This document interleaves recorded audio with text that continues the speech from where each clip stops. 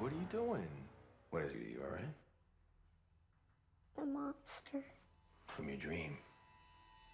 It's you, Daddy.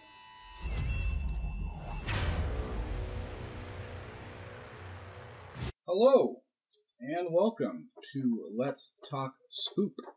I'm your host, Don, and today we are going to talk about The Possession of Michael King that I watched for free on Amazon Prime.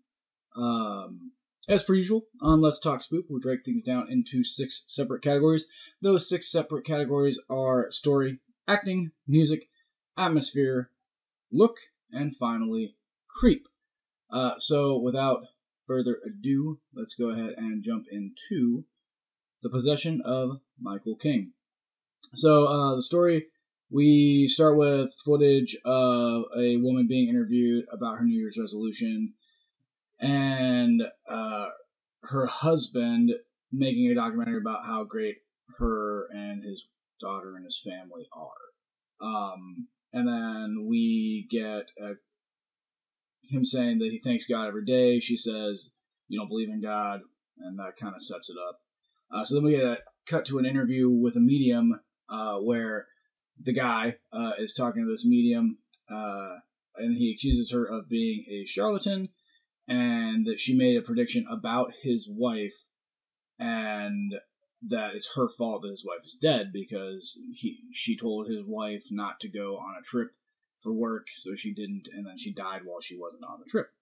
Uh, this then leads to him doing an intro for a documentary that he's actually going to film that's going to prove there's no such thing as religion or spiritualism. That's all hooey. Um, he's going to use the blackest of black magic and like summonings and stuff like that. Um, and then we get a family moment with his daughter and I think babysitter. Uh, the older girl's role is never actually explained uh, in this movie, so yeah. But uh, we get him having like a family moment with them, and then he starts looking to do stuff to fulfill his documentary. So he interviews.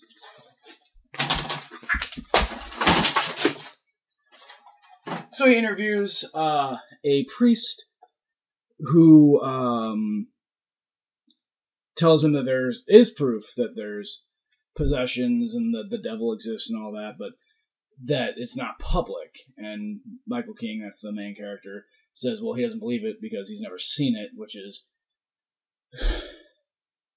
dumb.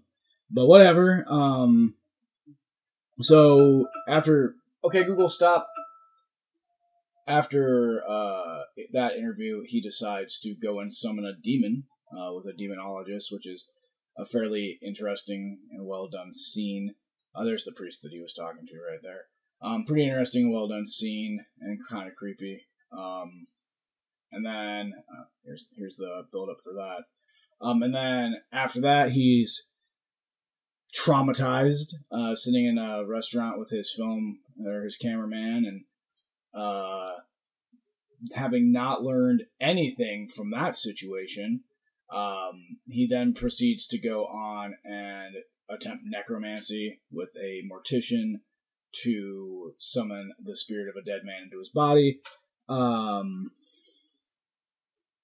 the demon uh, that he tried to summon, he had to take LSD to do it, so this could all have been just him breaking down from an LSD trip, but probably not.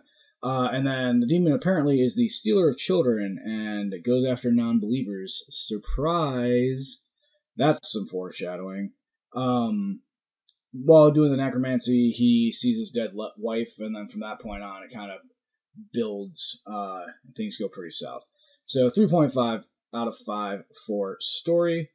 Um, I enjoyed the concept. I like watching movies where a uh, non-believer gets his comeuppance. It's about the only thing that I really enjoyed about the first Paranormal Activity movie is that that guy totally deserved that for after his wife tells him that she believes that she's been haunted for her entire life, that uh, he goes and buys a Ouija board. Screw that guy.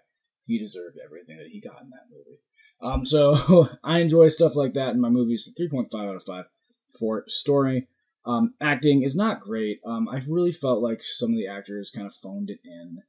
Um, so two point five out of five for acting. Um, music is nothing too special, but it does get the job done and it keeps you engaged. So three out of five for music. Atmosphere is good. It's a creepy movie. Um, it kept me engaged despite the less than stellar acting. So 3.5 out of 5 for atmosphere. Um, look, there's nothing nothing really memorable about the look. There's no like monsters or you don't see any demons and um they do do some body horror stuff that's kind of cool where uh, the necromancer sews uh, teeth into Michael King's abdomen. That was pretty good. Um, there are some kind of creepy wolf filmed scenes. So for look, I went with a three out of five. Um, creep. There's, there's a good amount of creep. Um, there's a lot of like quiet, and then all of a sudden there's sudden movement and uh, you know, sudden facial tick, and uh, just kind of the. They did a really good job of setting up the creep. It starts out really slow, and the the, the momentum builds really well to keep you involved and in, uh, engaged in this film. So I put give it a four on the creepiness factor, um, which may have been too uh, too good, but eh, whatever. Four out of five for creep. Uh, so we talk up the scores, and we get a final score of 3.1 out of 5 skulls for the possession of Michael King on.